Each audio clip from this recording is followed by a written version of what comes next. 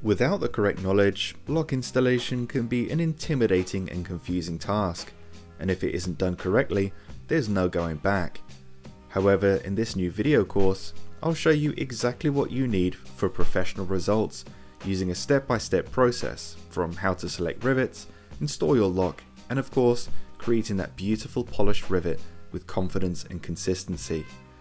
I'll also show you how to make your own rivet setter and how to make a riveting practice tool so that you can gain confidence and experience before installing your lock.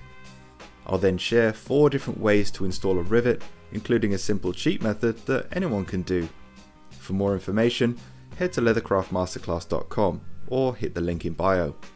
Hi, my name is Philip, and this is the Leathercraft Masterclass.